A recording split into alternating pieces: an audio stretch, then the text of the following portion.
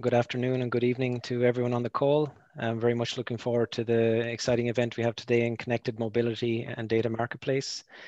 Um, first of all, I'd like to do a quick introduction of uh, the CVA. Um, and be before I start that, a little quick introduction of myself. I'm Kevin Lally, uh, Vice President of the Board of Directors um, for the last two years in the CVA. And before that, I uh, was the Executive Director of the, the CVA. Um, the Crypto Valley Association uh, predominantly focuses itself on the support and adopt, adoption of uh, blockchain use cases uh, throughout the country of Switzerland and builds bridges to international locations. For example, like um, Mobi that we have um, co-hosted the event today with. Uh, I also want to make uh, a brief thank you to the Blockchain Center and University of Zurich and also Cardano that we um, co-host the event here today. Thank you very much for your participation. Um, I also wish to uh, make a very brief thank you to the participants from the SBB Swiss Federal Railway, Swiss Re themselves, Mobi, of course, Bosch, and uh, the Cardano Foundation, as well as the University of uh, Southern California, as well as Cordossier. Um, I will just cover briefly that the number of active working groups that we have in relation to um, where the focus working groups are in the CVA. We have an investor working group. We have a, the startup working group. We also have the regulatory um, working group that is focused on um, legal and uh, interfacing with Swiss financial regulator FINMA predominantly, as well as addressing the um, the open um, progress around the Open VASP initiative, for instance, in the FATF. Uh, we also have a tax uh, working group, and uh, to cap it off, we have, uh, of course, the enterprise blockchain and the cybersecurity working group. With that brief, um, I wish to again welcome everyone to the call. Wish everyone an um, informative meeting. Looking forward to it very much, and thank you again for joining on behalf of the board of the CVA. Have a very nice event. Back to you, Dennis. Yes, thank you very much. Uh, it's now up to me to thank as well all the participants and uh, especially as well our sponsors, um, uh, the University of uh, Zurich and the Cardano Foundation uh, for making this uh, event together with Mobi and the Crypto Valley Association possible. Uh, my name is Dennis Flass. I'm the chairperson of the Enterprise uh, Working Group, co-chairing it together with Mauro, who will be our master of ceremony uh, tonight and take us through the uh, event. I'm then heading later on the panel with my good panelists. Yeah, the Enterprise uh, Blockchain Working Group. What's our objective within within the Crypto Valley Association? And um, yeah, I mean, I see that we have at the moment a little bit uh, a, a, big discussion about uh, platform economy. Uh, that is the big buzzword uh, out there, and I think it's a, it is a future business model where a lot of ecosystems are moving towards.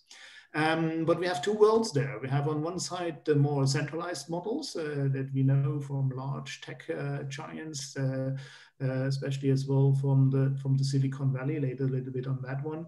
Um, and on the other side, we have, of course, the decentralized uh, networks uh, building on decentralized cryptographic technology and and blockchain technology. And our aim at the working group is, of course, to identify success factors that make decentralized networks uh, uh, more successful because we strongly believe that this leads in the, in, the, in, the, in the long run to more market efficient solutions. And when you saw lately the discussions about uh, competition law threats from Google uh, in the in the U.S. Senate and, and Congress at the moment, or what the European Union is as well doing, I think there is a fair statement that we have to take care about market efficiencies in the future. And um, what we do is we do events like this. We as well work on white papers, which I'm very glad that we hopefully before Christmas can launch a, a quite large ones that we elaborated in the working group. And we support universities and students um, and enterprises to come together to do uh, research uh, on the topic of enterprise blockchain solutions. So that's what we do. And I'm very glad now to hand over to Mauro to introduce our first speakers. Thank you, Dennis. Um, yes, we have the first uh, um, speaker, which is Eva Oberholzer. She is the Chief Growth uh, Officer at Cardano. Um, obviously, she's going to present us about how we can monetize data in the future. And I think you have a special focus on the Asia market. So, you know, um, just for the information for everybody, we're going to have questions at the end after the three speakers. Uh, Eva, uh, the floor is yours. Thank you. Thank you.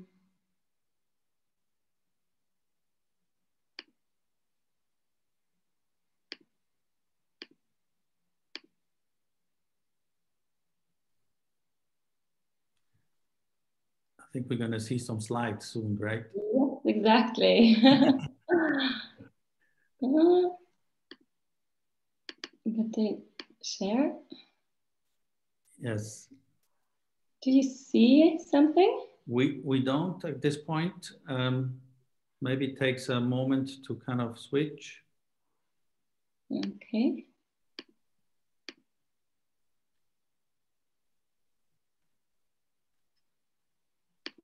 I think you should have the right mm. to do that. Somehow, I'm so sorry. Okay.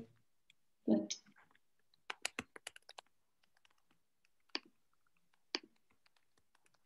it's not popping up. So maybe I'm not really good at multitasking. Let me quickly check if anybody else has the slides. Does anybody? Uh, I think so. Um, Eva, I will send you an email quickly and you can send it to me and I can uh, put it on the screen. Uh, Mauro, maybe then we can have Tram or Evangelos um, go first. Yes, please. and then we can have Eva second. Yes. Okay, good. Um, then yes, let's um, let's have the second speaker, Tram. Um, you're the co-founder and CEO of Mobi, right? You have been in the space for quite a while. I think, you know, what's interesting to us in this session, we're not just talking about financial industry this time, we're talking about different technologies coming to together and monetizing that. So uh, Tram, floor is yours. Uh, go ahead, thank you. Thank you for the introduction. Um, I think you should see my screen now, correct? Uh, yes, we do. Okay, good. Um, so uh, thank you, uh, and it's, it's been great uh, organizing this event with the uh, CVA, and thank you Cardano for sponsoring our event. Uh, for the next 10 to 15 minutes or so, I will talk about Mobi Currents technology um, and, and future technology uh, initiatives that we are calling the Mobi technology set. Um, we started working on the ecosystem uh, for the what we call the minimum viable community uh, in early 2015. And uh, three years later, in May 2018, uh, we launched with 35 founding members. And now we have 100 and growing. Um, we are working with our standards, um, our members to create standards and digital ways to identify all things mobility, including transactions. And Mobi itself, uh, it's important to note that we are technology and ledger agnostic. Why are we creating standards? Um, well, before um, adoption of any revolutionary technology, industries need standards um, to uh, give specs and to build the foundational infrastructure so that uh, we can create products and services that can communicate and work together. Why is the uh, Mobi community uh, the right place to start uh, and create these standards? Uh, well, cumulatively, uh, the community has upwards to 15% of global GDP. Uh, we have over 100 years of trusted partnerships with cities and government and consumers. Um, and we have the ability to assign digital twins, the ability to install secure wallet at manufacture, and the ability to build payment channels uh, for the ecosystem. Mobi currently has um, six working groups. The first one had, of course, to be uh, vehicle ID, and that one uh, launched our first standard last year. The second vehicle ID working group uh, just finished discussion this year, and now is drafting the second standard.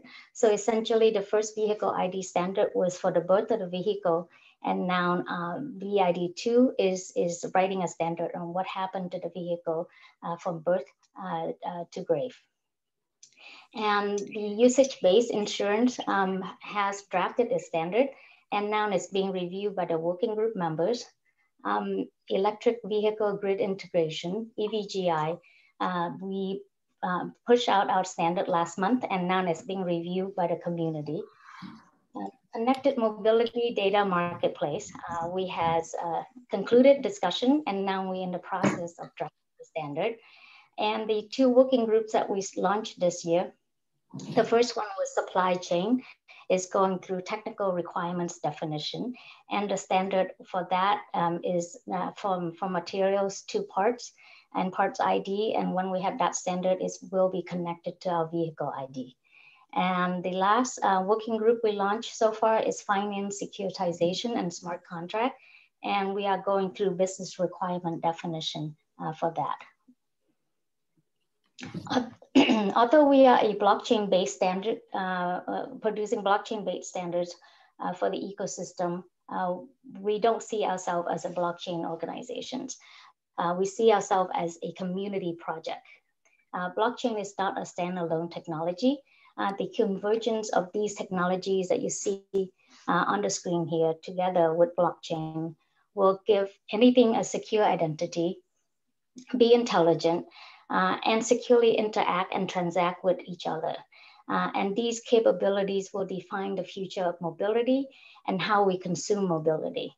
Uh, we build an ecosystem uh, to for what we call the new economy of movement, uh, which we believe to be a multi-trillion dollars opportunity for connected mobility and infrastructure, uh, exchanging data and payments seamlessly. Um, no matter how good the standards are, at the end of the day, they are just pieces of paper with writing on them. Uh, they need to be adopted and implemented uh, to create impactful outcomes for the ecosystem. And to do that, uh, we have started two more initiatives. Uh, one is the Open Mobility uh, Network, which is the OMN. And then the second one is Citopia Application Marketplace Platform. this is a very simple architecture overview for the MTS uh, so the MOBI standards, the OMN, and Citopia are the three distinct layers of the full stack for the MTS. And here is a more detailed architecture for the MTS. Uh, on the left um, is MOBI working groups working to create standards. And the standards uh, themselves will determine what kind of data and core services are available to the OMN. So what the OMN is essentially is a protocol agnostic uh, business to business network uh, that enables all the stakeholders uh, participating to share, exchange, and monetize uh, mobility and transit data. Um, and these shared core services uh, that we come up with for the OMN will allow all the applications sitting on top of it uh, to be able to communicate and talk to each other. So instead of getting apples and oranges, we'll get apples and apples. And the Citopia Marketplace uh, platform built um, uh, on the top of the OMN, uh, which is on the right side of your screen here, um, is built on blockchain to en enable a very important feature, which is data privacy. Um, existing marketplaces out there, uh, as mentioned by Dennis, is built on current technology with very similar business models to scrape and monetize data from their users. and MOBI has over 100 members and counting. And most of our members are uh, competitors.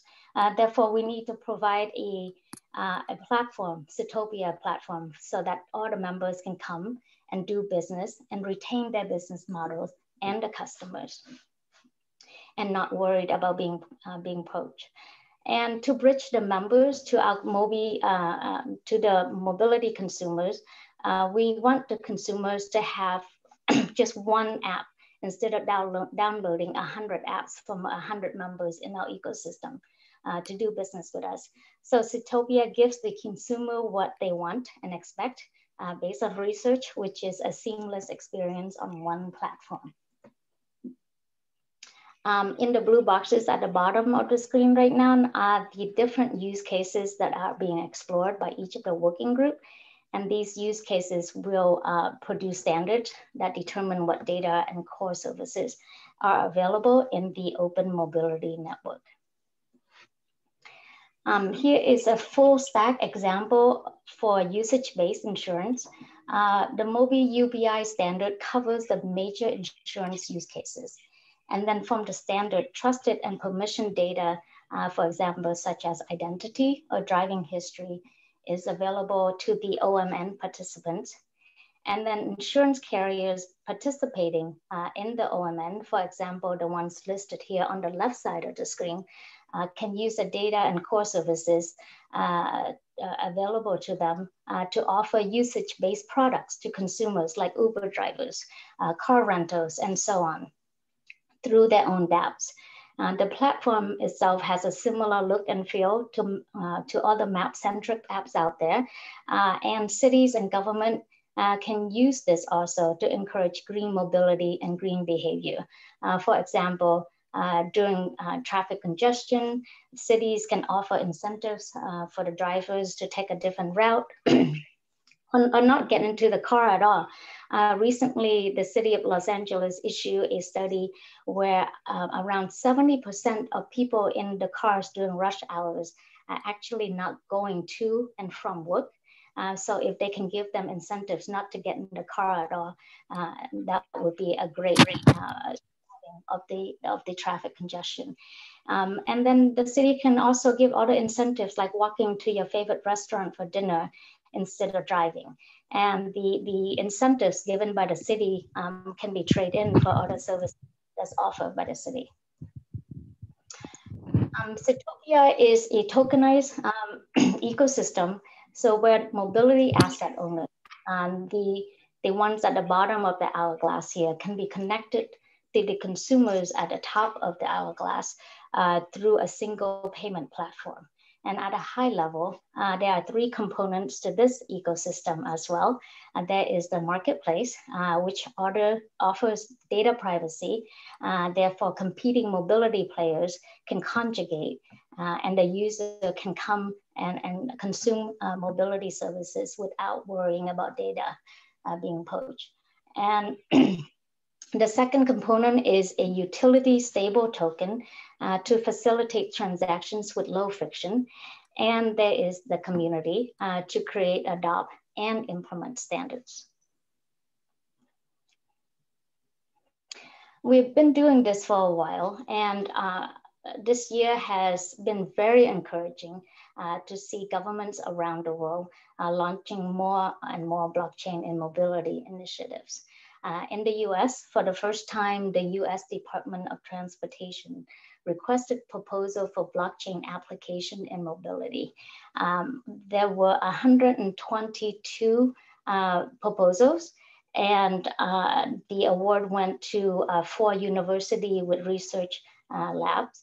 And all the light blue states that you see on the screen right now, those are part of a initiative called uh, road, road usage charge west, RUC West, uh, and those states uh, this summer received a first um, award by the US uh, Department of Transportation uh, to start doing experiment in blockchain application uh, for road usage charge. And the EU Commission this summer asked MOBI along with two um, other organizations uh, to present internally to them what do we all think the first use cases uh, will be for what they call it, programmable money, a machine-to-machine payment. And it was encouraging to see that um, the other two organizations, along with MOBI, all think that uh, mobility will have the first use cases. And Ava will talk um, uh, more about Asia, um, but Asia has uh, actually has a lot of initiatives coming up. Uh, for example, South Korea uh, was the first country to announce uh, that their highways will uh, have blockchain power toll payment. And in May, um, South Korea also launched an, an, initiative issuing blockchain driver license. Um, and by August, a million uh, of their citizens have opted for this driver license. Um, and they are also uh, working with Japan and New Zealand uh, to pilot road usage charge. Uh, and uh, Japan is looking into issuing digitized driver license. And um, it's also worth noting that uh, in July, China issued a white paper, the government issued a white paper on um, smart city initiatives using blockchain. Uh, and one of the large component, of course, is mobility in smart city. Tram, fantastic timing. Fantastic Thank timing. You. Uh, good. Uh, so if you want to learn more about Mobi, please go visit our website uh, and, and follow us on social media. Thank you, Tram. Uh, we got two questions that we're going to discuss later, uh, but uh, I'm going to post them to you so you can start thinking about it. They're very uh, sophisticated, standard uh, oriented. Uh, you get them on our chat. Now, as, as, next, we will continue with Evangelos. he is the head of digital ecosystems at Swiss Re, um, thought leader and advisor in the um, insurance industry. So we're very interested to hear how uh, you guys are going, making use of uh, IoT, AI, and blockchain in your space.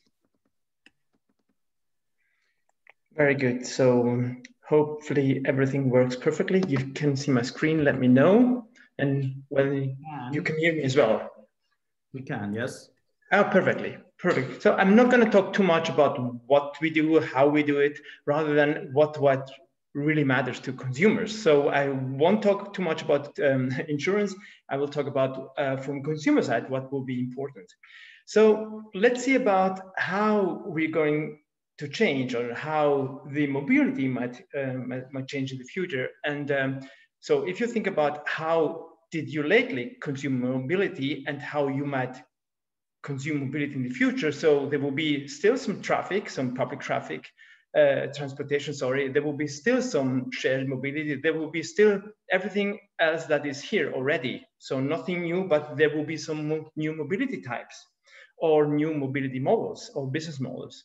And the interesting part of that will be to think about um, how does also micromobility change for the time being. This is what we see in the streets, but you can imagine that new models are going to be introduced, something like this here from Toyota, or uh, sorry, this one here will be from Toyota here.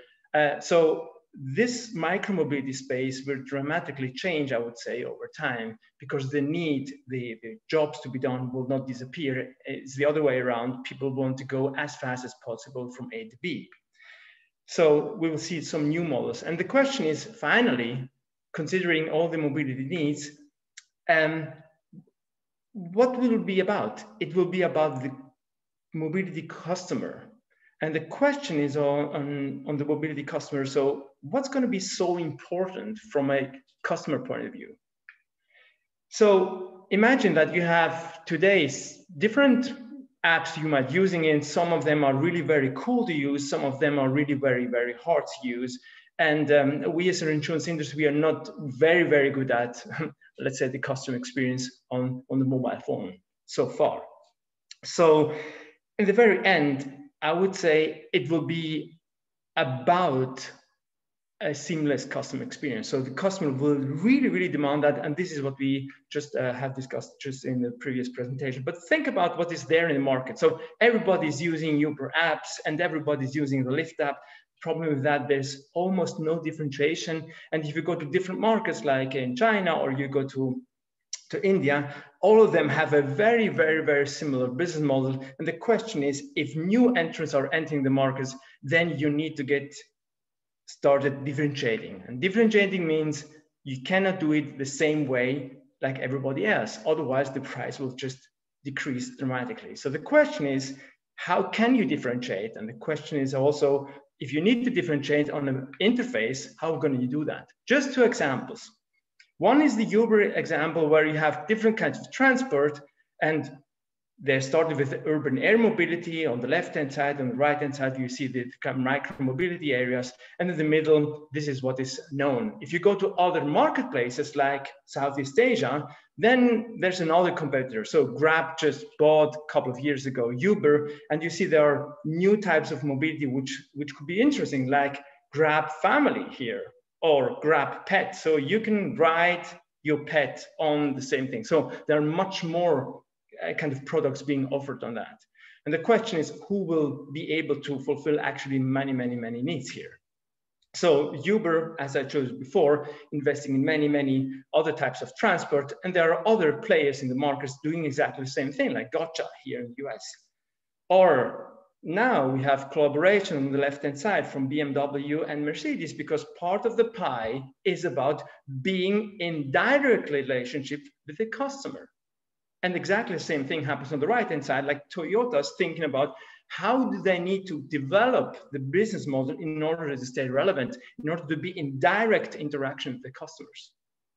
So we will see new players getting into the market and try to get as much as possible from actually for the, for, for the customers in order to serve actually different services. This is a product driven view, right? So we have different types of transport that are being offered, hopefully in a very seamlessly way. So if you consider my journey, my journey uh, on a daily commute could look like that. So I will get my subscription service going to the next train station, get the train, perhaps then I need to share a bike, and then in the afternoon I might get a kind of Uber drive. In the evening, when I go back home, I take another kind of e-scooter, go to the train station again, and then go back home again. So the question is, if I want to do that, how many apps do I need? And the obvious answer of that, I need a lot. So only to manage in this kind of journey, I will need about five to six apps doing that simultaneously. And is this the customer-centered view? No, it's not. Of course, there are other solutions, and this is a question, uh, how many apps you want to have? We just heard it before, the single app that will kill actually all this, um, that will offer actually all these um, uh, solutions integrated. Let's see how this is going to work out. So think about if you go into the micromobility space where you have different participants already in the market, and the question is, do you want to download all the apps here? And of sure, of course, you don't want to do that. And there's already an app, transit app, doing exactly, exactly that, integrating different services into a single app. Does this exist here in Zurich? No, it doesn't, not yet. But you will start thinking, how can I integrate other types of transfers? And uh, of course, you know, Whim, that is integrating a multimodal view. However, you know, this is on, on a subscription basis, so it's not an on-demand thing, it's a kind of mixed thing. It goes to the right direction. That's exactly the way should be. But think about further. So this is again, Southeast Asia, this is the killer app from Southeast Asia called Grab.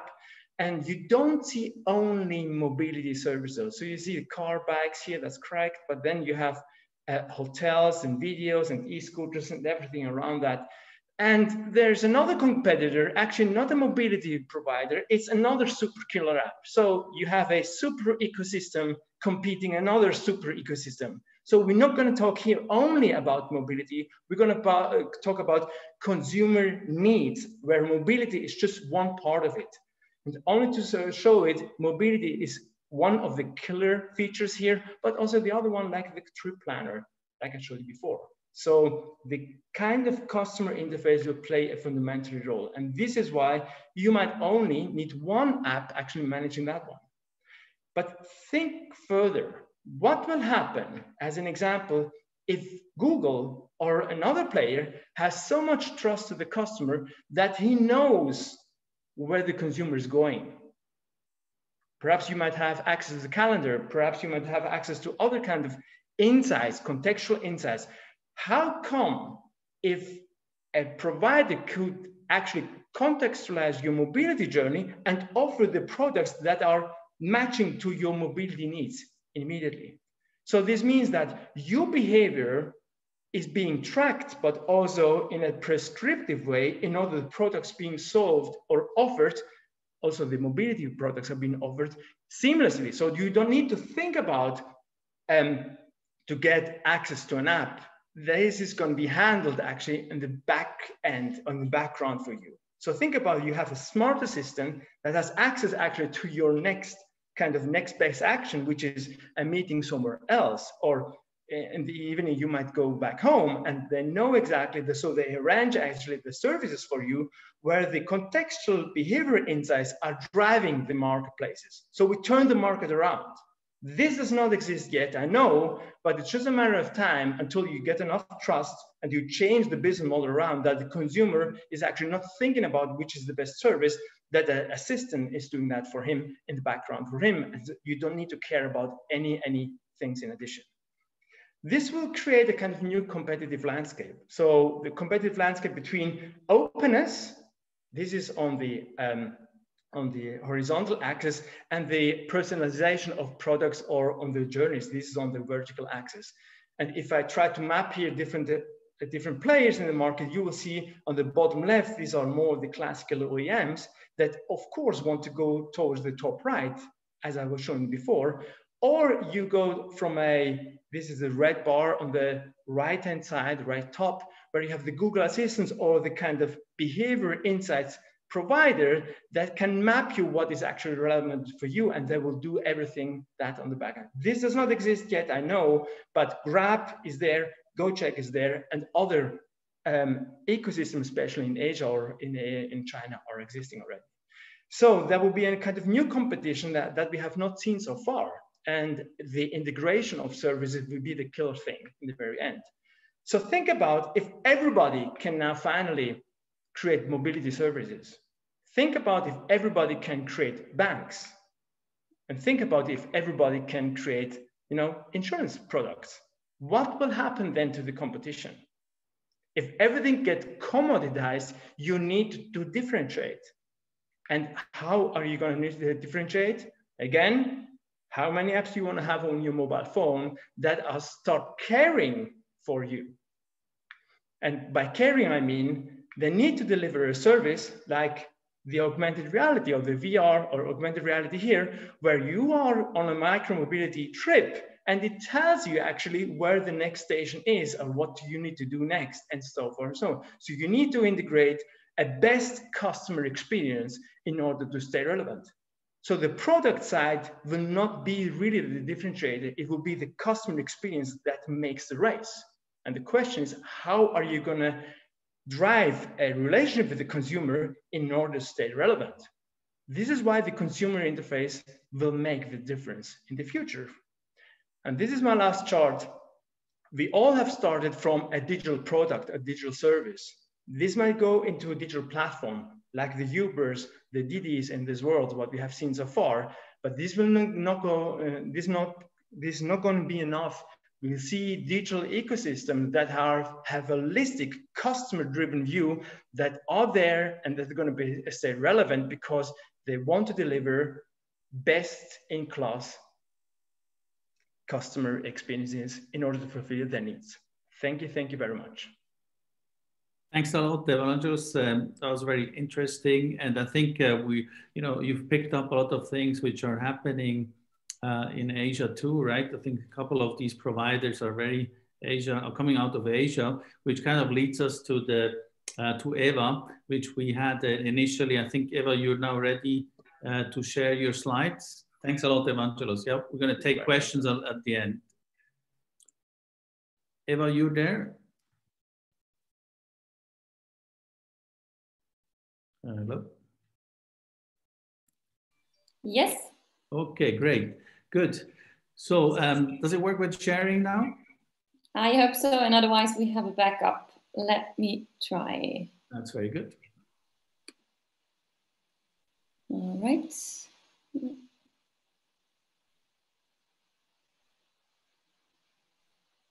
Yep. Something is happening. Good. Very good. Is it? Yes, fantastic. If you if you go full screen, then we can see it even better. I am on full screen. uh, okay, it still looks a little bit. Wait a second. You should have test, tested that. Yeah, no, not the full screen, more presentation mode.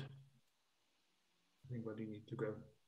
yeah. on my PowerPoint slide, I guess, right? Yes, down, down on the right. Yes, that's perfect. Do you see it now? Uh, we see that you have pressed the button. We're just waiting for it to happen. Okay. Or do you have two screens maybe? Because I don't see the screen anymore, it's just my presentation. That's why you have to guide me through. Yeah, yeah. So maybe we can only see the small thing. Maybe what they suggest that you just increase the size on the right, on the right where you are right now, uh, on the bottom to higher percentage, and then I think we should be able to deal with it. Oh. Yes, that was a little bit too much. Just where you see click add notes, can you pull that down all the way down? There's a bar above click add notes. You can move that to the bottom. And you can also close on the right side, that little X next to format background. Yeah. That X? On the right, yeah. Yes. Mm. Top right, where it says format background on the right side, you can kind of click that away. That gives you a little bit more space. Is it working? No. Uh, yeah, almost. You just, yes. It's weird that the, the presentation mode is not working. Yeah. If you make it a tiny smaller, then I think we're good. Like this? A little bit more. Uh, yeah, let's go with that. Let's go with that. Sorry. Okay, so yeah, so Eva, you're gonna introduce, give us more some insight how to monetize data. Exactly. So uh, that was actually the perfect introduction um, where we talked about digital ecosystem. And I probably go one step further and talk about digital and decentralized ecosystem. Since we at Cardano, we are a blockchain project, um, as you might know. And um, I'm very happy that Tram actually mentioned what's what's going on in Asia. I also um, won't focus too much on Asia because I think what is really valuable for you to know, or the valuable insights I can bring to you, is really from a tech perspective. And don't worry, I'm I'm not a tech person or not a, a programmer, but um, um, I will just show you what the status there is and what are now the, the next steps we can do. Where do we stand and what are the next steps? And the big, big things that are happening. And we already work with uh, a lot of governments um, together to get actually their government and in the next step their city smarter. And I think that's probably the, the, the valuable insight I can give you. Um, when we talk about data monetization, um, I think it's important that we first look at, at the entire ecosystem and what is needed. And therefore, I quickly want to give you um, a short introduction of what is what Cardano is. Um, I want to bring a new standard in technology. Um, we want to challenge the old and active um, new age and come up with a sustainable and global distributed innovation across the world. So what does that mean? We are a third generation proof of stake blockchain network, which is now developed into a DApp uh, development, a decentralized app devel um, development platform with a multi-asset ledger and ver verifiable smart contracts. And I won't go into details, but this is for the techies that really want to understand where we now stand. Um, what is important is that we aim to be leading in scalability, interoperability, and sustainability. And one important aspect is that we proof of stake. Um, and this is also why we call ourselves a third generation blockchain um, because um, before we had Bitcoin, we had Ethereum. They were both on proof of work with very um, cumbersome processes, and we actually moved to, to, to a new era. So um, what are the entities between Cardano? We have three main entities. One is the developer company, um, IOHK. Uh, then we have the foundation, which I in which I work for, and then we have Emurgo who drives um, the, the, the, commercial adoption, let's say. And um, what one of the, the very important aspects of the protocol's design is that it's geared toward protecting privacy rights um, and also taking into account the need of, of regulation, the needs um, or, or, the requirements that regulators are now um, publishing, especially like the travel rule, etc., for those who, who, are more in the blockchain um, sphere.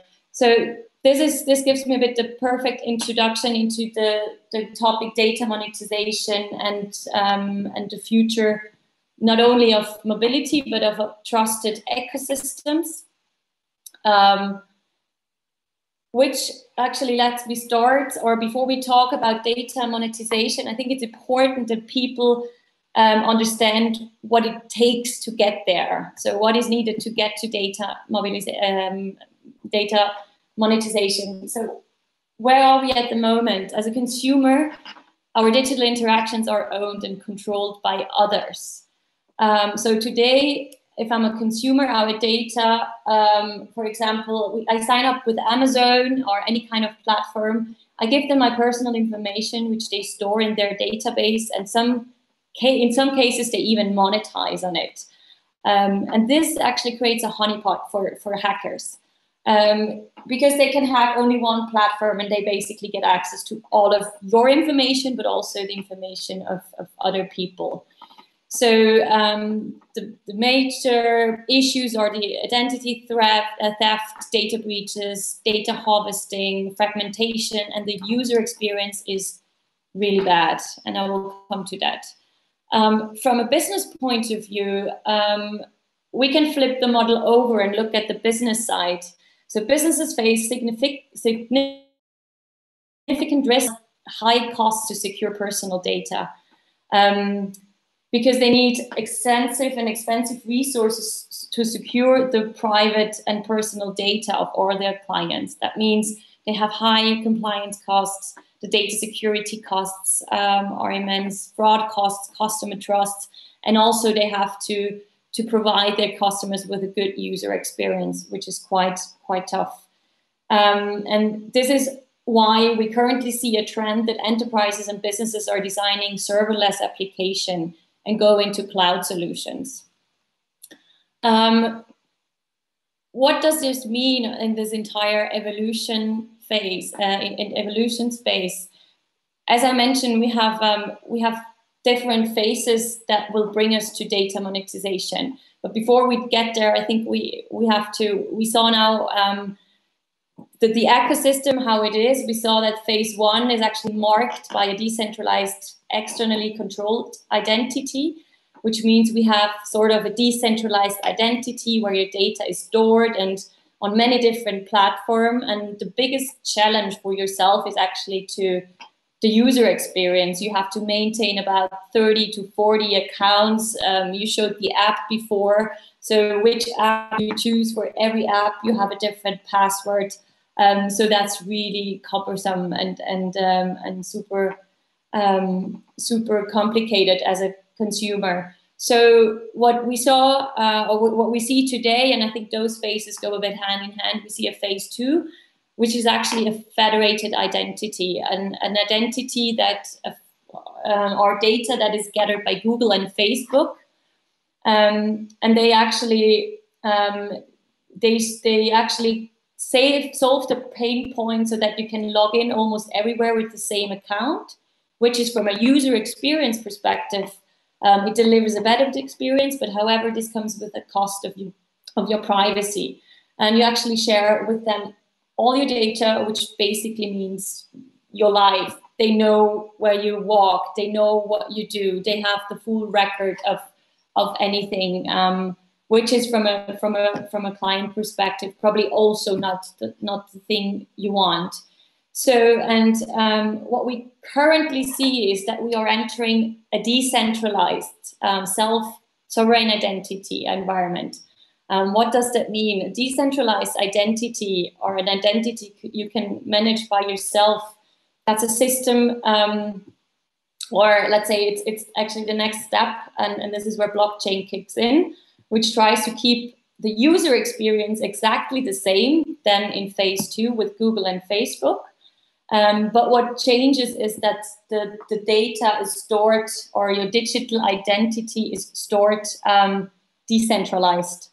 So um, it allows you to protect your data and privacy, owning and therefore controlling the amount of data you share, the duration, and in the future, even the price um, of your data, which brings us to then the fourth part of the data monetization.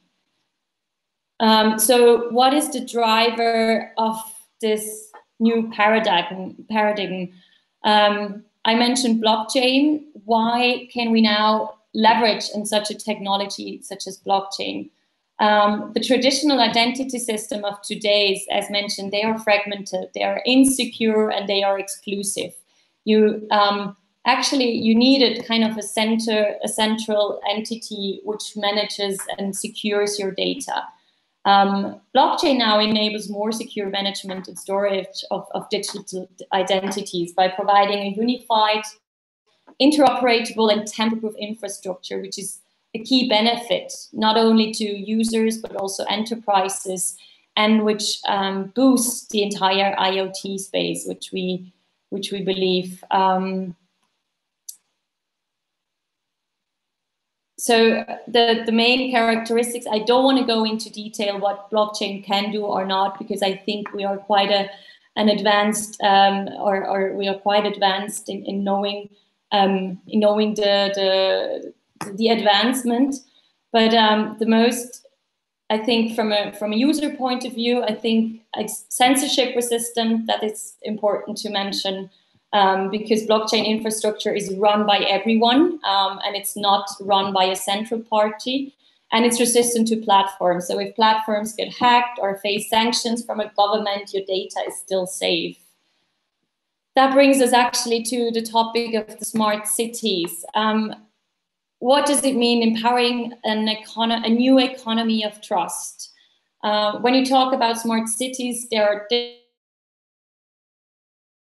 different models, a few different ways to look at um, the definitions. But I think um, what we all agree on the notion of is of the, on the notion of a city with autonomous and connected operations which handling, handles different aspects of your urban life and um, also actually are driven by a widespread use of information and communications technology. Um, this technology is essential, um, or this will be essential to, to actually drive economic value and give um, access to, or give an entire new access uh, network experience. Um, but in order for that framework to develop, its its um, its participants have to work closely together, embracing the new information and communication technologies. In the case of a smart city, there are three main categories um, of participants in this new economy of trust. So on the one hand, we have the government. On the other hand, we have the citizen, which is at the same time um, the user.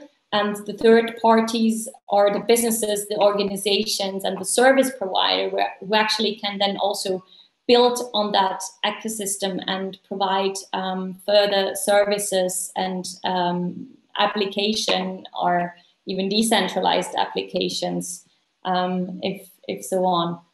And um, I think this, from a tech perspective, we are actually quite close to that um, development. And um, I can say that because we, by ourselves, we have actually our our um, one partner in our ecosystem, IOHK, who's actually building, who's who's building the entire technology around um, Cardano. They also have um, launched Atala Prism. Atala Prism is actually really an, uh, an um, a tool or um, a provider for digital identity.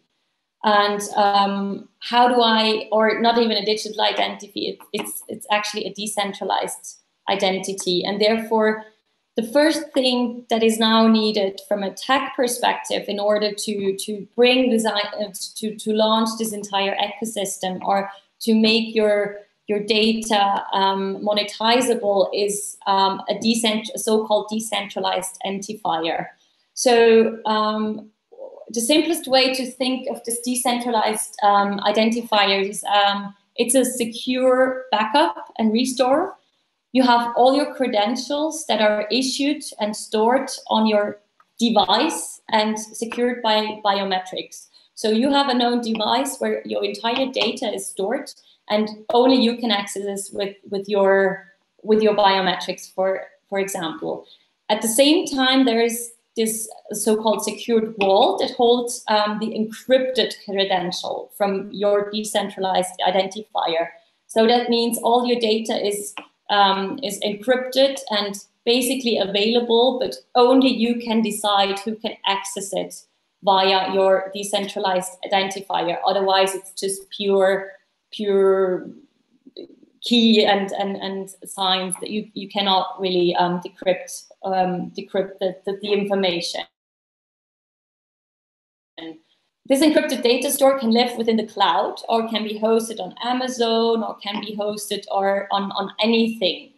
That doesn't matter. So it's not even necessary that you have all your data at your at your device. It's actually really it's on the blockchain and um, and it's divided amongst all the or the participants or the one that are interested in using your data they you they have to come to you or um, they actually have to you have to give them permission um, that they can access your profile. And content you've created for example you i don't know you, you're a writer or you're a musician um, you can then actually give rights out or decide to whom you give your rights with what price um, and define what what the terms are of, of your license or from for handling out this data. So this is actually the next step, and this is when then really the monetization of data kicks in.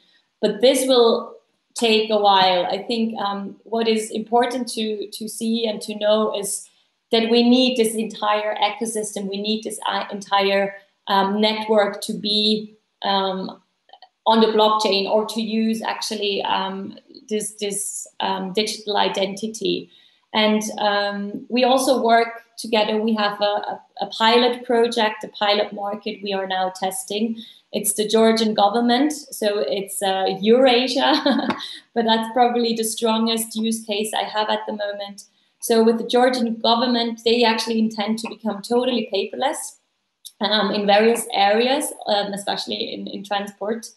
And um, and there we look actually at the moment um, to, to provide them a platform where they can build on their services, where actually you as a, as a citizen, you go to the government, you do exactly the same process as you as you know, you take a picture, they take your your credentials, but then actually they they put it on your personal identifier, and um, and, and and by proving it and by having this proof on the blockchain, it's actually it's it's tamper proof. So nobody else, uh, when you go and travel and use transportation, or if you have to share data, um, it's automatically the, the the counterparties don't even have to access your data. They automatically see um, because the blockchain is tamper proof that that actually yes this is um, a citizen of and this is and they just get, get, get the validation without actually entering your data. And this is something now we, we, we're trying to, to build and we, we, we now um, elaborating in terms of other business use cases. Uh, sorry. um, we have various areas because I think it's if we if we solve that issue with the the digital identity, I think um, we have we there, there can be built many um, many business models around that um, that data model, and especially for enterprises, it will be very interesting because most of the enterprises, and this is also a bit the trend that we see now. It's it's probably the moment more cloud based, but a lot of the enterprises they actually um, they don't even want to own your data. So um, they also happy if if it's just uh, if they can actually just access the data they need, you give the permission. You can even set the terms um, with with smart contracts that's on a blockchain. Set the terms and say like, okay, for this data, uh, you actually have to your your telco you have to store it for two years. Two years and afterwards you, you won't be able to access the data anymore. They don't have to store it anyway because it's um, it's in within the network. And um, models like this in, are actually are actually within uh, within any any business um, any business models. In the government, as I mentioned, it's digital ID. We have civic records, we have licenses, we have certificates, we have awards. In travel, we mentioned uh, there we are highly engaged now with car sharing memberships. Um, probably to to what we heard before, the new model is is as I mentioned, is not only that you have different application or you combine these application um, in that model, these applications are still owned by someone, by a company, by Uber, by whoever, by by um, Lime, and, and and and so forth. Um, in the future, when we talk about a decentralized autonomous organization, it's actually you can even be part or member of this um, of this application and recreator if you if you're part of the blockchain. And this is also once we we reach the point um, of decentralization, I mean that's Cardano will belong to everybody, and I think that's then then we are entering really the new economy, um, and uh, yeah, probably certain questions we have today um, will be solved automatically. Thank you. That. Uh, thanks a lot, Eva, for that uh, introduction. Um, I would suggest that we just start. Was it from my side? That works, works. I suggest we ask, we answer you, uh, we check your questions first for Cardano, and then we we take the ones from um, Mobi. So we, I think we had a kind of more a generic question, Eva, about Cardano, um, how that compares to first and uh, second generation blockchains. Uh, I guess you know. So the question was about security. I assume that you know how is how is Cardano doing versus Bitcoin. Uh, I don't know if you if you can kind of relate a bit on that question first. Yes. Uh, can you hear me? Uh, now we can. Okay, good. Um, so um, what we, I mean, the first, the first um, aspect which I mentioned, uh, which I mentioned before, is like we we are proof of stake. That means um, we actually have a different consensus algorithm. Proof of work, Bitcoin and Ethereum, they actually, if, if you know it a bit, you you had to um, run through really heavily computer. You needed computer power in order to to to come to consent to to validate blocks. And our blocks are actually validated by, by a new consensus uh, mechanism. And something that really distinguishes us from probably all the blockchains are that we are very much scientific driven. So we work with a lot of universities. Um, we have this peer review, which you know, um, which is very common in, in academia. So before we start programming, uh, we actually first um, let it reviewed by, by academia and, and by experts and then we start programming. So that's probably one aspect. Then the sustainability aspect.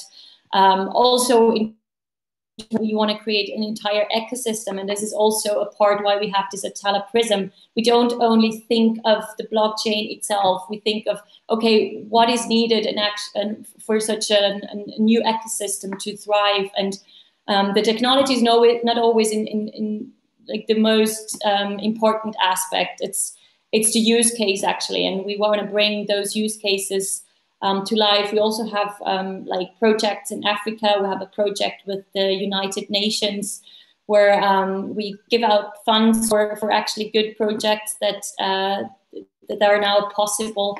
And from a technology point of view, we really try to come up with with a tech stack that is also unique. Um, like what will come uh, like within the next few months or even weeks is we, we have an own, um, let's say, um, programming language, uh, Plutus, that's more for developer, that they uh, can actually build on the Cardano blockchain. But then we also have Marlowe, which is a just a drag and drop tool for anybody, for any enterprise who doesn't really know how a smart contract works.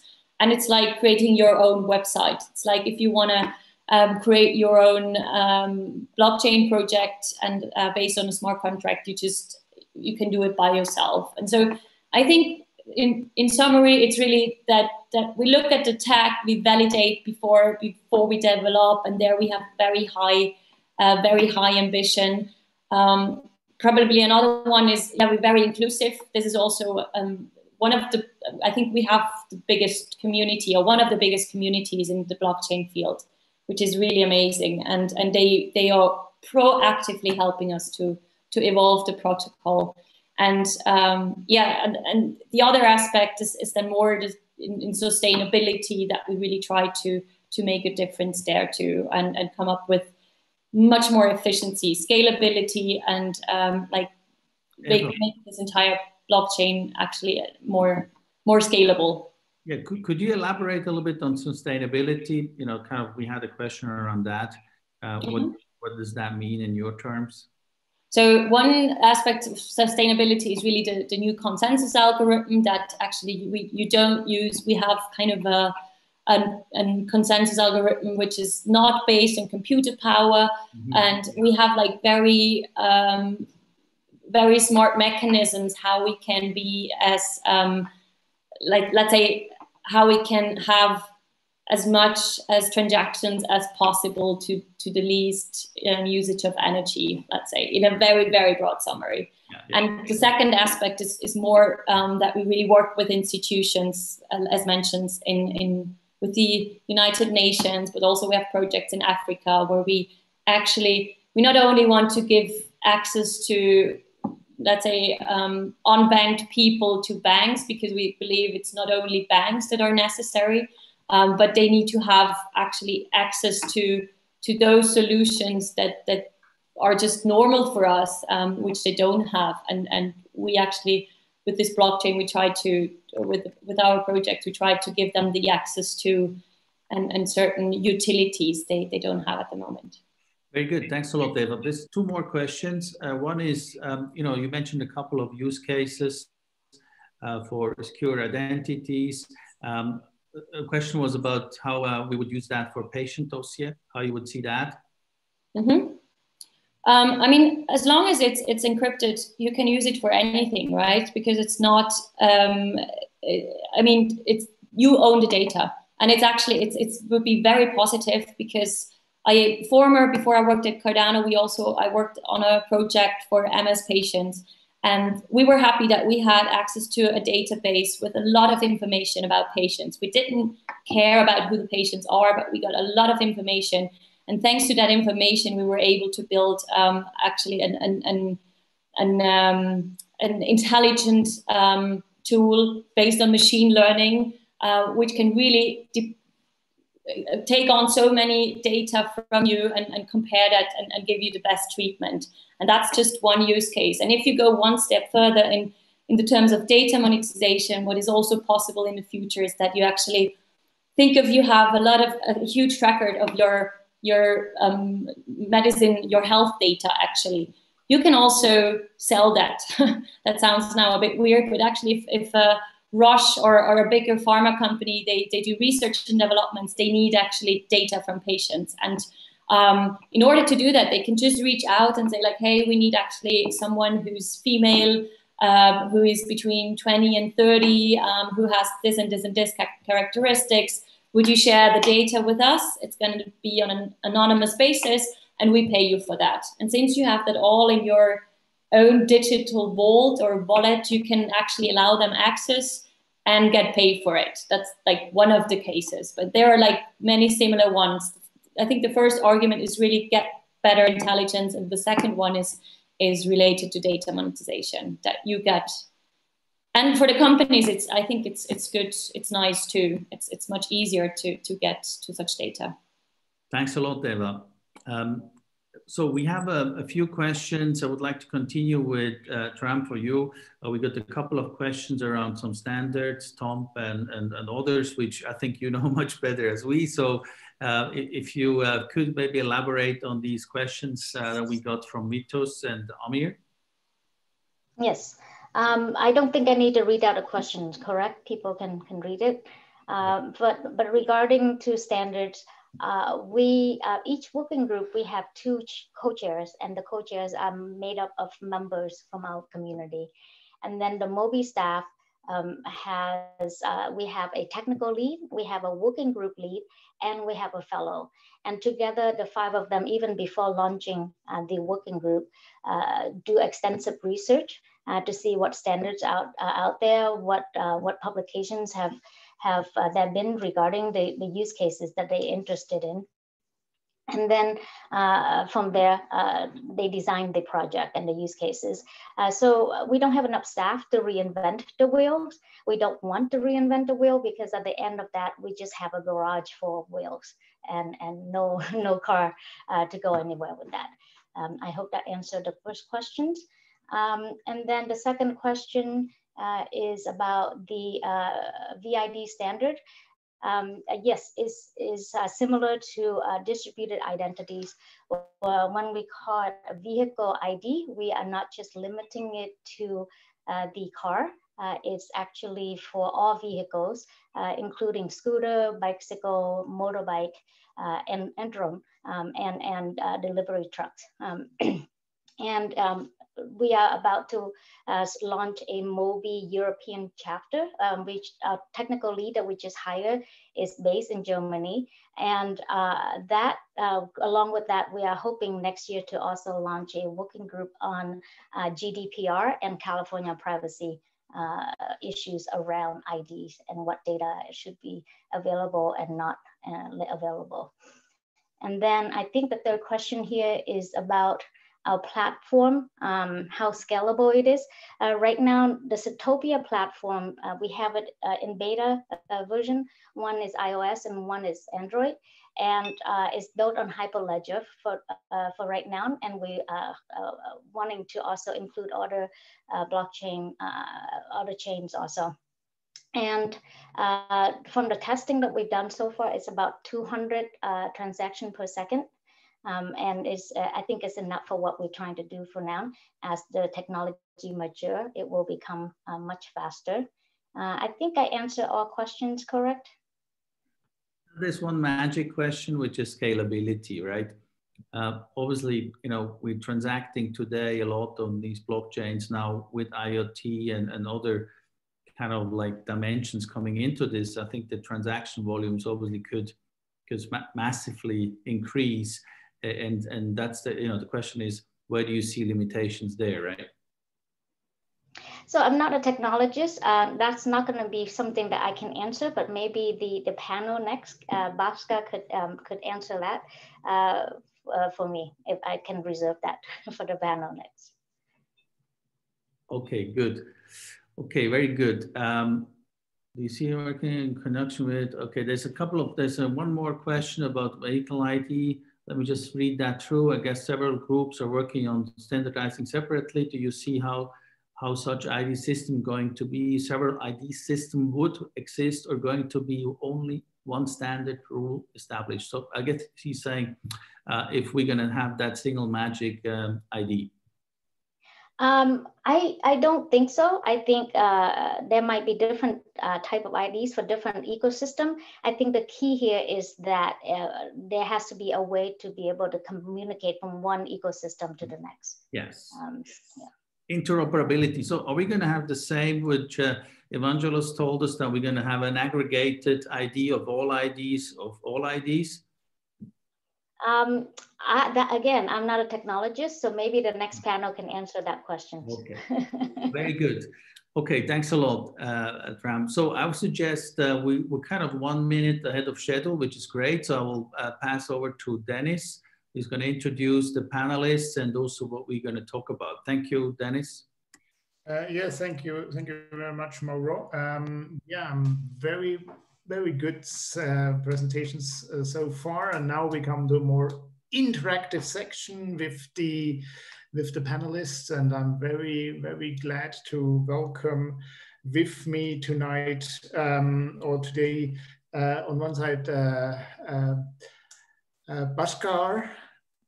I will not even try to it on your on your on your last name. Uh, Bhaskar is professor uh, for electronical and computer engineering at the University of uh, Southern California is calling in from from uh, from California today as well. Same as well is uh, Chris Ballinger, the CEO of Mobi, uh, as well from Los Angeles, joining us here. And then we have two Swiss representatives on one side, Vitus Ammann, um, who I know already from the old days uh, from Monetas, uh, who is now uh, senior advisor for digital transformation at the Swiss Federal System, which is our main public transport provider in, in Switzerland. And, um, uh, and then uh, we have Stefan Mignon, who's head of the Adnovum, uh, incubator. Adnovum is a leading uh, software house in, in Switzerland, and he is as well board member of Car Dossier, which is one of these platforms for used cars uh, that we have here. Uh, very glad to have you all here. Um, and as I said, the, the topic is data monetization um, for the new economies of movement or the new economies of mobility. First of all, and we had that already in the presentations uh, a little bit, what are these new economies of movement? I think we first, before we talk about uh, monetization of the data, we need to uh, explore a little bit on that topic. So my first question, Vitus, goes to you. Um, the SBB, the Swiss Federal Railway Systems, is a traditional player, an incumbent in that area. And just to get for all our international guests a little bit the uh, to um, um, relationship here. I mean, Switzerland and Japan are the biggest railway system users in in the world uh, by as well kilometers and distances that you travel within uh, uh, uh based on the population. And um, now, of course, the incumbent becomes a very important role because you are the uh, public transport company here and what is your vision on the new economies of movement? Well, thank you for the flowers. Uh, we are probably in Switzerland uh, a bigger player in public transport, but public transport only accounts for roughly 20% of uh, total mobility. So uh, we have to put that in perspective. And I would also uh, like to start with putting the new economy into perspective because we have already quite some threats and opportunities pointed to us uh, in the current situation. Basically, mobility is an ever growing customer need. Since mankind has started moving around, we keep enlarging our radius of movement, both for commuting as well as for leisure purposes. I assume that the current contraction due to the pandemic will only have a temporary effect because it's a mega trend which, uh, which we see since uh, centuries, basically. Having said that, uh, it poses also the biggest threat to uh, how are we going to move around all these masses of people, especially if all of them want to travel at the same time? Just imagine, uh, looking at the picture Evangelos showed at the beginning, how many scooters, bikes, uh, or micro shuttles you need to replace only one underground carriage and add those to the already cramped streets uh, we see nowadays. Therefore, the new economy needs to be much more a clever economy. At SBB, we strongly believe that we need to combine all kinds of mobility services into this sort of clever web of uh, mobility services. If I look at the narrow space of public transport, which you mentioned is quite advanced in Switzerland, um, we have by and large achieved it. If a customer wants to travel from one public transport station to another, anywhere in Switzerland, she can do this with one single ticket, independently of how many of the 250 transport companies in Switzerland are involved in this journey. The biggest disruption we see for the new economy is, is obviously the advent of um, autonomous cars. Uh, we do not know when they come, how they come, but we are absolutely sure that they will disrupt our way of moving around and much more, also the way where we live, how we live, probably in a way as did the cars when they replaced the horse carriages. Many experts foresee a huge increase, actually, in traffic volumes. So our infrastructure might barely swallow that uh, increase of traffic. Therefore, again, clever management and capacity utilization will be key. You will not be able to afford autonomous cars driving around with just one passenger, as cars do uh, nowadays. So mixing and matching millions of customers with tens of thousands of autonomous shuttles and cars and whatever there will be will be quite a challenging task. As SBB, is today the backbone of the public transport, the opportunity we see will be to become it in the future new mobility as well. The threat actually is just to miss out this opportunity and leave it to one of the global tech giants as, as Evangelos mentioned it in his uh, speech. Therefore, working hard on best customer experience is the key challenge for us uh, nowadays. Well, um, Chris, you as C CEO from the uh, Mobility Open Blockchain Initiative, MOBI, um, what is what is your vision on on these, um, or what's your understanding of, of the key challenges and uh, opportunities of the uh, future ecosystems uh, of movement?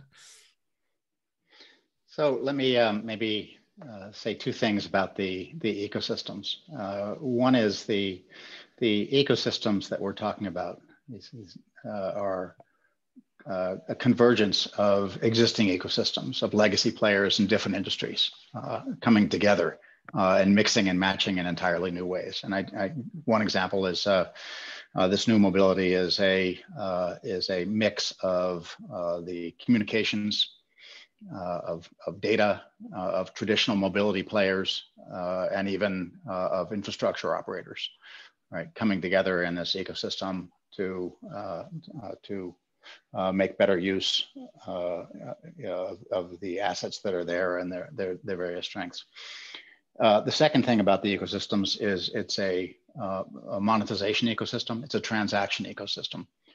Uh, this this notion that uh, you know blockchain uh, allows you to uh, have secure identities, DIDs, and uh, combine that with with with with AI and IoT, and suddenly you have things and mobile things in the case of, of vehicles that have the ability to to communicate with and more importantly, to transact with other things, other vehicles, infrastructure, uh, in, in, in ways that are wholly new. uh, and uh, open up uh, an enormous amount of value because it can monetize things which are today not monetizable.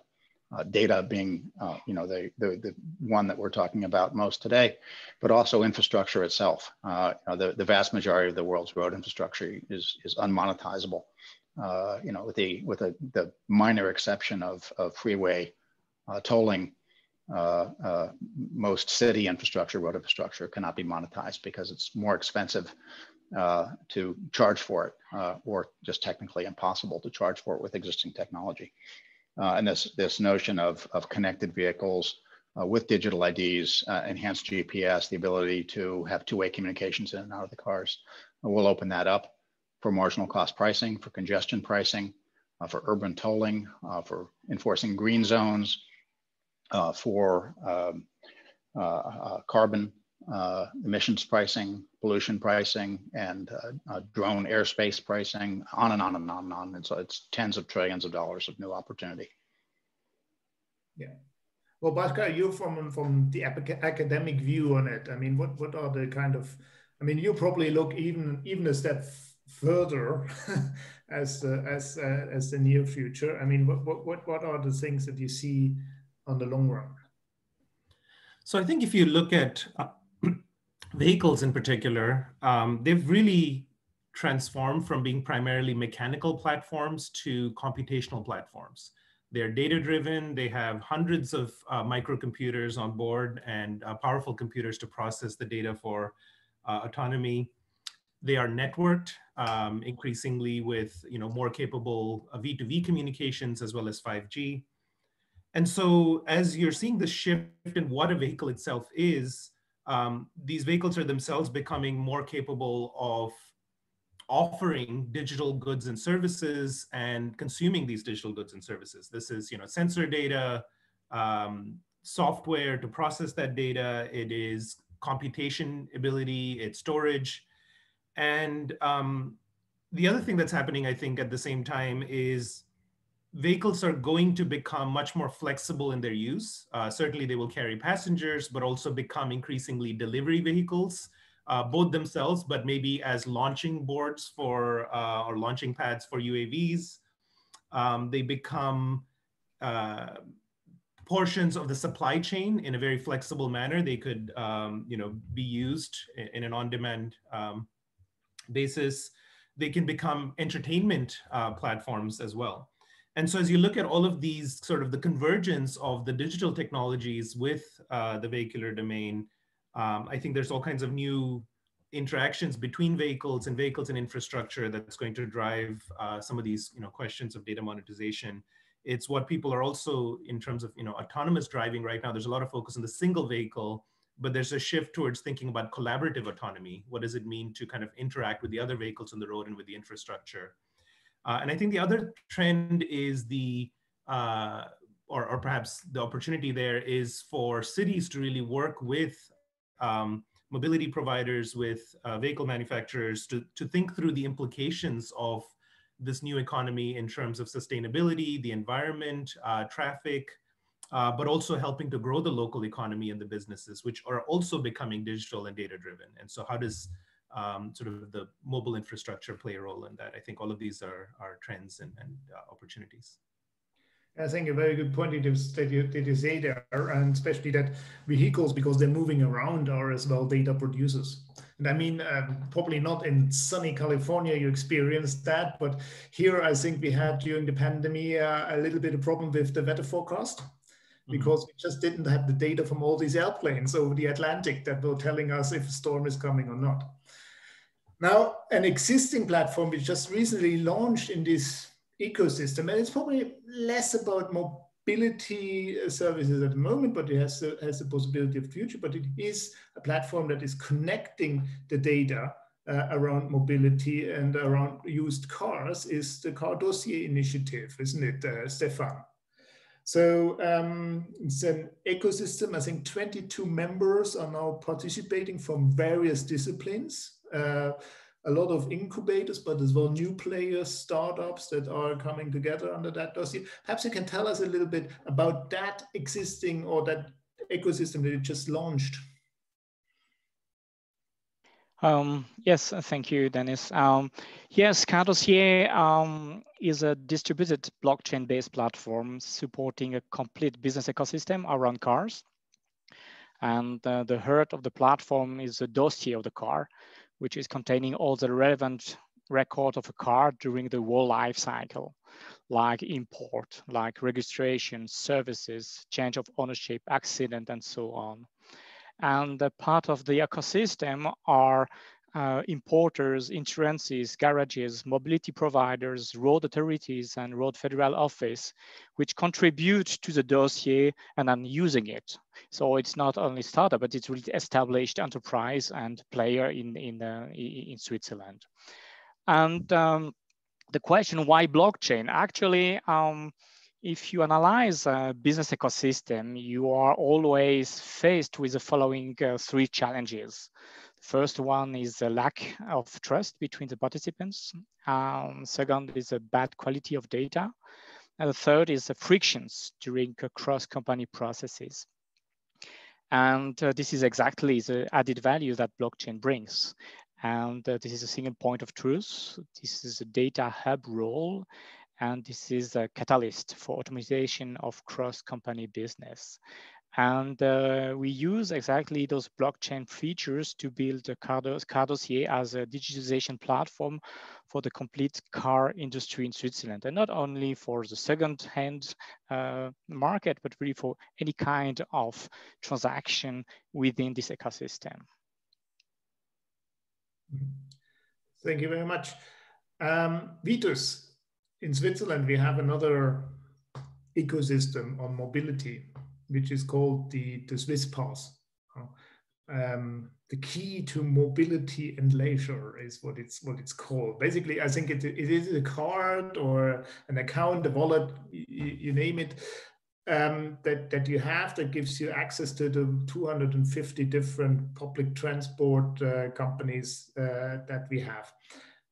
But the interesting thing is, um, and the Federal Railway Assistance is a major um, participant in there and sponsor from that, um, of course. Um, but you have exactly decided against blockchain technology uh, when you when you launched that ecosystem. Uh, can you tell us a little bit why and what's the reason behind that? Are you muted? Thank you. Actually, we have not decided against the blockchain uh, because the system was already there. Funny enough, the first Generalabonnement, as we call a kind of a travel card um, with a yearly flat fee, was launched in Switzerland in 1898, so more than 120 years ago. Uh, that was already valid for 15 different railway companies at the time.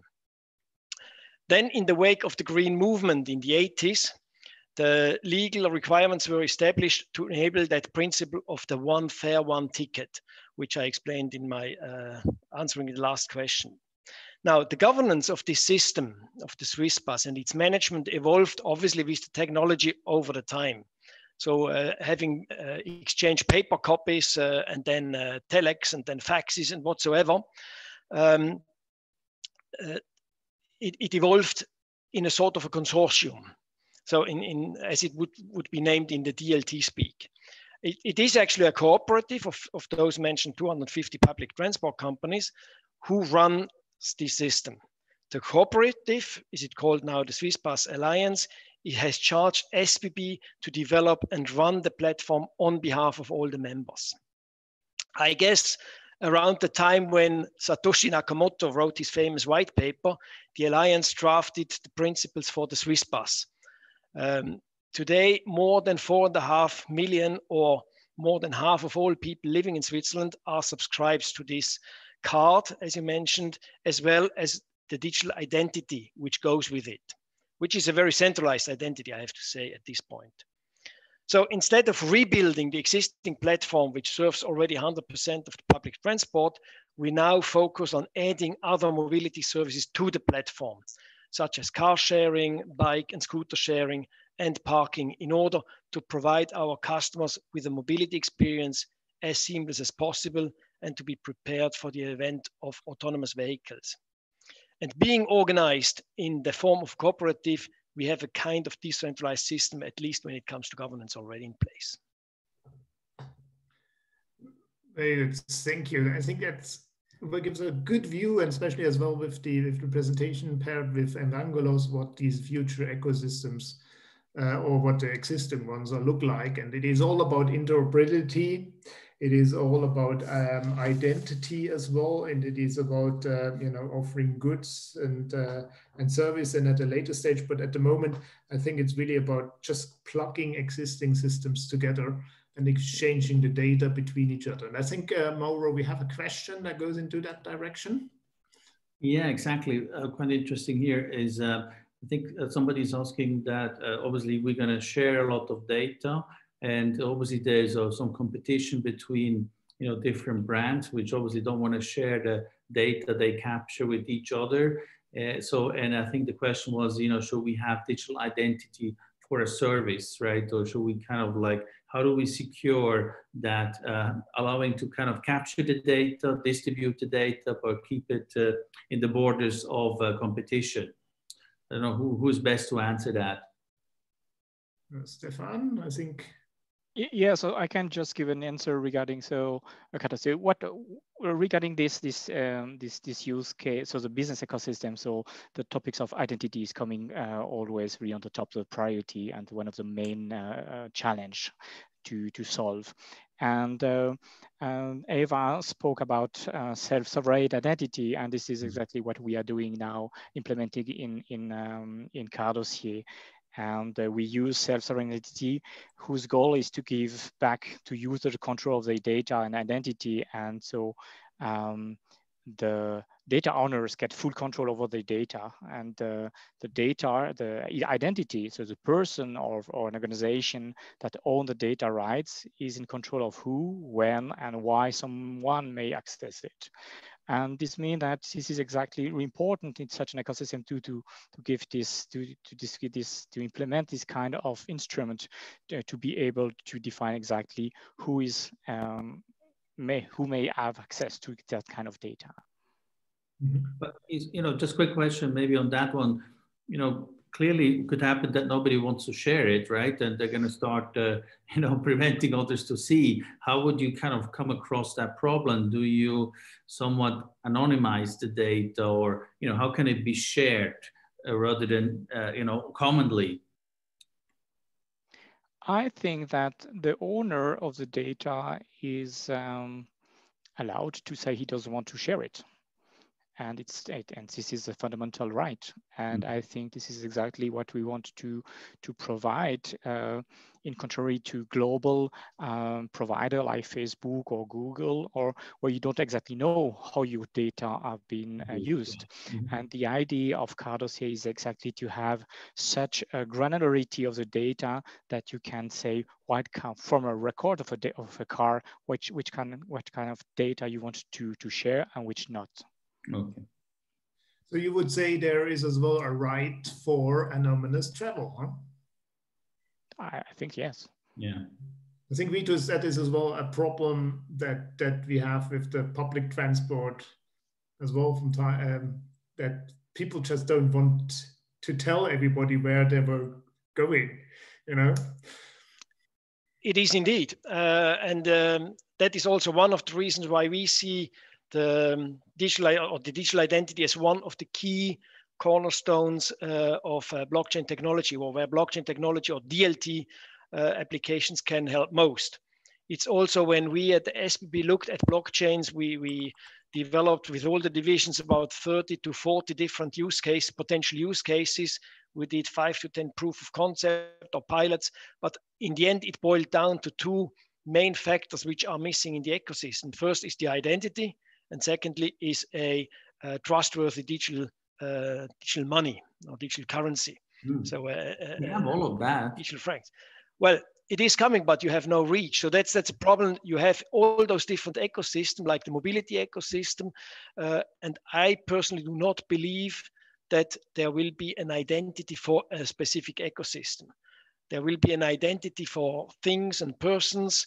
There will, uh, which will be used in all kind of ecosystems there will be money and it needs to be a, a trusted money. So the, the, people know, be it the Swiss franc, be it the dollar, be it euro, and uh, no fancy other stuff, which will be needed on a digital platform in order that people will engage uh, with it. I see that there is a lot of movement going on in the, in the terms of currency, be that uh, run by or led by Facebook or by uh, some central banks. Uh, that will definitely help. But we at SB also decided that the identity part will be something we want to uh, engage ourselves. And uh, we are very much following the, those um, developments of the SSI standards run by uh, W3C, where we see a great potential in future. Uh, Vitus, one question came up, uh, you know, Swiss ID, uh, do you think that there's potential that, to move that into a more blockchain-based form? Uh, the current system, which is uh, developed and, and, where the, uh, the law has been drafted, is rather building on federated IDs. So uh, at the time when the when the, the legal framework was built or, was in, in, in construct under construction, um, that was kind of the most advanced uh, proven technology which is there. So as we can see, the blockchain-based identity systems, which you also have seen from Eva, um, they are still under development. Those uh, those uh, uh, three W3C standards, which I mentioned, they are basically all uh, for reference for comments. So it might take another uh, three or four years until we really can see that blockchain-based uh, DIDs will be um, solidified enough or proven enough that that can form the basis of those identities, I guess maybe I can just add something about this. I think regarding Swiss ID is uh, the, the question, the, the, fundamental question is not about the technology behind. Uh, so if it's uh, based on blockchain or not, the question is that do we want to use uh, a distributed uh, um, system like self-sovereign identity who make us uh, to make uh, the issuer not centralized like Swiss ID is defined now, but to have then another way to to to to to to to to to, um, to, to create the identity and to prove them. And for that, it's more about the questions, what is the business model from such Swiss ID than really what is the technology behind, mm -hmm. in my opinion. We talked already a lot about the the, the, the, opposite side from now these decentralized systems that we were talking about and the beauty of i mean having a, having a providers for for uh, identity having providers for the cash flow having providers for for the transportation and then all melting them together in kind of ecosystems and make them interoperable way. Of course then you have the other sides which evangelos uh, showed us as well. And probably you uh, Bhaskar and, and Chris, you're uh, just the closest to Silicon Valley. And of course, it would be interesting to understand how, how you see, what, what, what kind of strategies you see from those players and how will there, will there be opportunities and will there be threats and what do we need to watch out for? I, I mean, I would say that a lot of um, the response to blockchain technology is both reactive and cautious. Um, for many companies, decentralization is a threat in some ways to the way they traditionally uh, kind of, you know, essentially own a lot of uh, data and are able to exercise that and monetize it. Um, but also it's confusing actually to go to a decentralized uh, world, right? How, how would you monetize a decentralized uh, system? Who's going to pay for um, the components of it? Now there are exceptions. Uh, IBM, of course, has invested a lot in enterprise uh, blockchain as an example. Uh, Facebook has uh, its own plans with respect to blockchain. There are various cloud platforms looking at blockchain as a service offerings. Um, but I think you know it's still kind of there's a level of skepticism and uh, perception that this is both confusing and perhaps a threat. Um, but I think something that is happening is there is a shift, a very perceptible shift in a focus on privacy of data.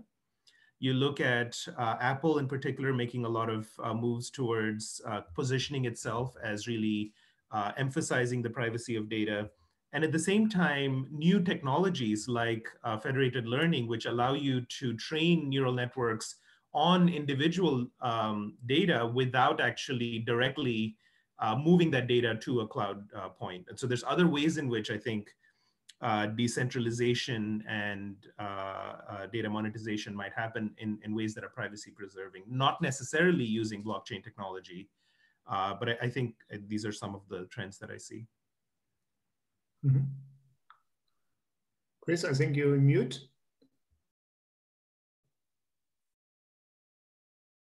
Mm, can cannot hear you.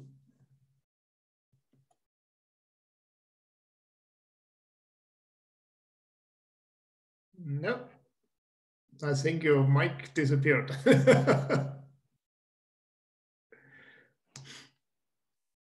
No. At least I can't not hear you. I don't know about the others. Yeah. Okay. This is a pity we will try. But I think, um, yeah, as, as he said, I mean, at the end, it becomes a little bit, for, and from my perspective, becomes a little bit into an, um, into a battle. I mean, I think we will still see a battle of ecosystems. Huh? So on one side, it will be these uh, centralized uh, solutions that will make it very easy from a, from a, from a customer experience and from an usability, etc. That becomes quite interesting. I mean, we, we when we look at Asia, we see all these uh, these uh, these super apps, as they call them now, you know, that are pure marketplaces and everything is put together from finance, from public transport, from uh, payment solutions, from insurance solutions. Everything is in one in one platform and provided like on a on a nice table to to the consumers. Now that is that is quite that. On the other side, of course, we have all these in traditional providers, which, uh, as you say, have their uh, uh current business models, and they are, of course, at threat in, in, in losing the connection to the customer or have a new intermediary in between. And, um, and I think that is where the distributed technology, maybe blockchain, maybe distributed ledger um, uh, technology, may it be uh, decentralized databases connected by APIs together. Uh, that could be a good answer to these uh, to these centralized solutions, and I think the Mobi uh, the Mobi platform or the Mobi initiative goes exactly into that direction. Chris, is it? Can you hear us? uh, seems not to be hearing us as well. so it seems that we have totally. Can we, can we ping him on WhatsApp maybe? Yeah, yeah. let's let's let's tr let's try that.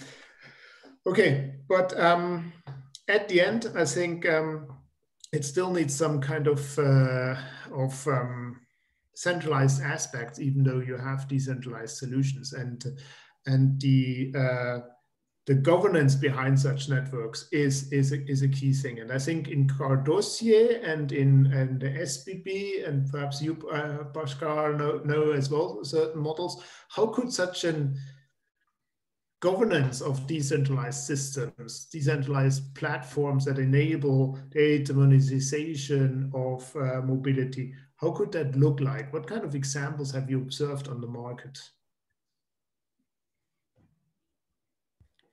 I can speak to some work we've done at USC. Um, we have been looking at community marketplaces for IoT data and working with the city of Los Angeles and other uh, local government as well as industry partners uh, to explore this question. And um, one way governance could work, depending on you know what what the uh, platform and the applications are, is to somehow connect it to the existing governance systems that we have for our uh, cities, our counties, uh, and perhaps you know in, in places like county of los angeles is 88 different cities so there's already a pretty robust uh, decentralized governance in some sense. And so um, I, I, think one possibility is to connect these types of uh, data marketplaces particularly to the extent that the applications are intended to benefit the community um, to our existing kind of political governance mechanisms to some extent and i think uh, there, there's some possibilities there to be explored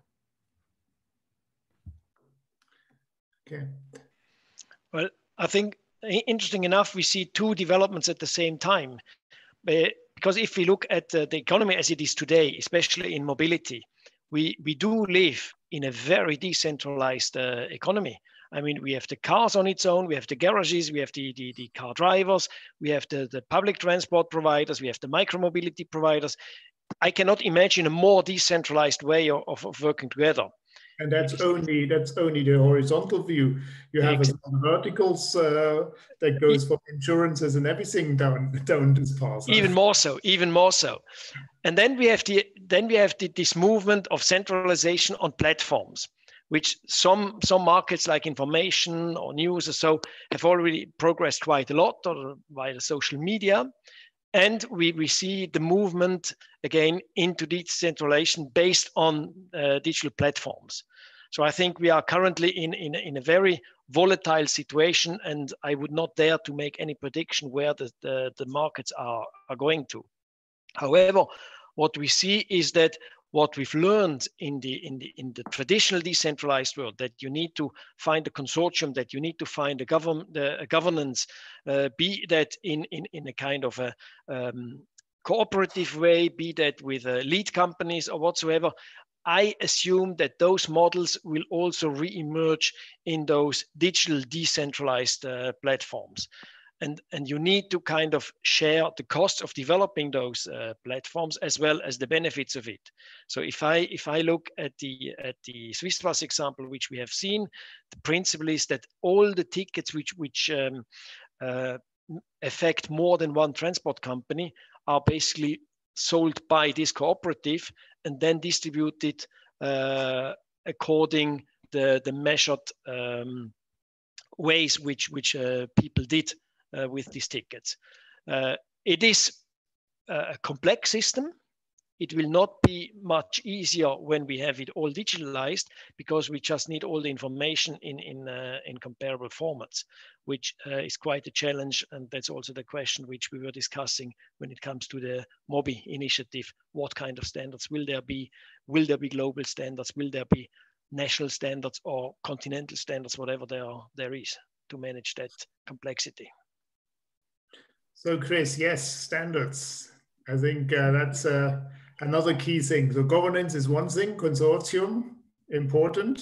Uh, that everybody should platform participate on the platform should be a part of this consortium and bring in their their aspects to make sure uh, they're not cannibalizing themselves in their in their core businesses but at the end it's as well um, you know the consortium there needs as well be a governance on standards and i think that's exactly what the initiative is about isn't it it's uh, it's partly about standards but it's partly about uh, building the, the platforms and the rest of the plumbing so the standards can be used in a in a, a business ecosystem, uh, a, shared environment for sharing data for sharing services.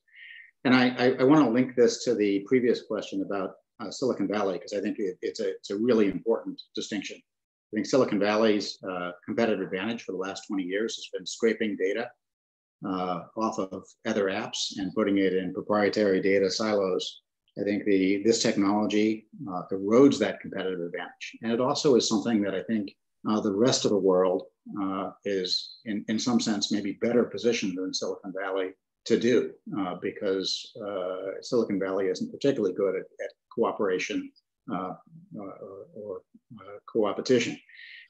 so I think you know the kind of environments that we're talking about today, the kind of environments that MOBI is trying to create with its ecosystem, with uh, its standards with the Open Mobility Network uh, is really the, the kind of environment that undermines the Silicon Valley model, uh, enables a, a different business model that's more inclusive, particularly for other types of organizations in other parts of the world. Uh, and uh, it's it's it, but it requires plumbing first, uh, which is where this standard and community building uh, is. It, it, comes in and why it's so important. Yeah, perfect. Stefan, uh, your experience as being such a consortium across different parties, what is the things you would say, hey guys, if you if you want to build these kind of uh, new ecosystems or for mobility of movement that are decentralized, involve different uh, competitive uh, and not, not only competitive players, but as well players that that build together a, and, and, joint value chain. I mean, we saw Evangelos' uh, uh, example of uh, you, you pick a train, you go to a car, you have a bike and so on. I mean, these are vertical collaborations, these are virtual, vertical um, uh, uh, value chains. Um, but being a consortium, what would be the kind of recommendations you give to us? Um, watch out when you when you want to build a network. Yeah, I think the the um, the governance part is really important and is something we had focus uh, from the beginning beside the technology part and uh, just having the question what is uh, uh, what is a legal form of such a consortium is, is, some, is, is the first question for example we have created an association and uh, all the so that all the members are equal on it and have a right to this and this is important to define what are the design principles and to build your governance on it. And this kind of, of equality uh, is really important. And uh, in the in the case of uh, of of uh, of CarDossier, we have built this association. The association is in charge for building, financing the core platform, and, and, this is a collaboration. And on top of this platform, the members can build their own uh, business model. And this is a, as a competition. And we can really live with that a really good competition because uh, there is some uh, big players uh, like uh, two, we have two major insurances who are competing on the, on the, on the market, but they are part of CarDossier because they have seen the, the, they have a common interest to, to, to build this, this uh, common data and the common layer to, to, to make this typical across company business ecosystems processes. And I think it's important to have the transparency and to be able after to, to really make the difference, what is the core, what is specific. And uh, we also have so uh, so cross company processes uh, we, we want we are going to, to to build so we are working now on the whole immatriculation process of a car so from the from from buying a car uh, have sending um, uh, the to get from the insurance certificate from the insurance and have to do how to get the vehicle registration card from the road authority and to get after uh, the the role uh, you you your uh, registration registration card of, of, of your, your your vehicle and this kind of uh, for this kind of process it's important to have a clear de uh, definition what's belong to the core processes and what belong after to the different um, members. Excellent. So thank you very much. Chris, as co-organizer of that uh, of, of this uh, event here, um, what's your conclusion on tonight? I think uh, what's uh, what's wonderful about these types of events, where so many uh, different parties from different backgrounds, different parts of the world, different industries come together uh, is it really highlights this this notion of convergence, and so maybe that's the the theme for the uh, for, for for the takeaway. Uh, it's convergence on so many levels, uh, starting with the technology. Uh, you know, this the com combination of DLT and AI and IoT, and to a lesser extent, perhaps uh, edge computing and and 5G and some others. this you know leading to vehicles and things generally uh, having intelligence and being able to participate increasingly autonomous in this in this economic system, being able to transact with each other uh, in ways that open up uh, uh many many new business models uh, and open up uh, release things that can't be monetized today and open them up to monetization. Number two, geographies. this convergence of really you know efforts that are going on around the world. You know our our membership in MOBI is truly global. We're roughly evenly split, and the uh, on the call today, I, you know, it's it's it's Europe, Americas, Asia, uh, all, all contributing to this. Uh, cyber and physical, uh, the convergence of physical and and and cyber things. Uh, uh, you know, the, the, physical things are quickly becoming commodities. car companies are now data companies. Right, Tesla is data company is the most valuable manufacturer in the world uh, DIDs uh, uh, are the key to bringing the digital economics to the physical world. Uh, you know, you might say that IoT turns products into services, but DIDs turn centralized monopoly services into efficient decentralized services. At least that's the, the hope. Uh, and maybe finally, industries, uh, this convergence of transportation, energy, communications, you know, together, the, this new economy of, of, of movement uh, is upwards of 20% of global GDP. Uh, so it's just an enormous uh, uh revolution and, uh, and massive opportunity. Tens of trillions of dollars, uh, tens of trillions of euros in new business opportunity to monetize this data and to unlock the stranded capital that exists today. Very exciting.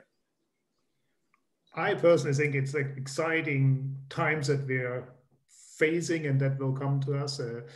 Uh, especially now that we really go into um, these benefits as well from, from decentralized uh, systems. And I'm a strong believer in, in market efficiencies that decentralized systems come over uh, centralized systems, although the centralized systems definitely have a key advantage in getting scale and that's that's uh, that will be one of the biggest challenges that we have. I mean we, we probably then invest too much time in governance and making it uh, happy for everybody. And believe me we as here in switzerland with our people democracy we know exactly it always takes longer than than it is. And sometimes you're just losing track in in getting getting at the end of real, real results. And um, i just hope we are uh, here in uh, sometimes faster now in, in really delivering uh, proper end-to-end solutions. But it will be exciting because we are now sh just shaping a new way of, of the economy uh, for the future. And, um,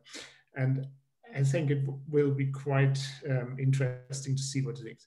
I would like to thank everybody uh, for participating today. Uh, Eva, Evangelos, uh, Tram for the, the presentations to give us the insights. Uh, I think the presentations will be as well later on available, at least on the on the CVA uh, website. again, please advertising, become member of the CVA. They're quite interesting events that you that you that you see. Not only these public ones, there are as well uh, events for members uh, that we that we're doing, at least as well from the Enterprise uh, Blockchain Working Group. I would like to thank my panelists, Vitus, Bhaskar, and and Chris. Uh, thanks to California as well to participate in this early morning session, and for uh, Stefan. Um, and uh, Kevin as well for the for the evening uh, sessions here. And of course, special thanks to Mauro, my co-chair in this working group. Thank Exciting you. times, isn't it? And again for hosting it and following the questions. And um, yeah, so thanks for everybody. Have a great uh, evening, and um, and uh, talk to you soon with one of at one of our next events. Okay, thank you very much. Thank you. Bye bye. Bye bye.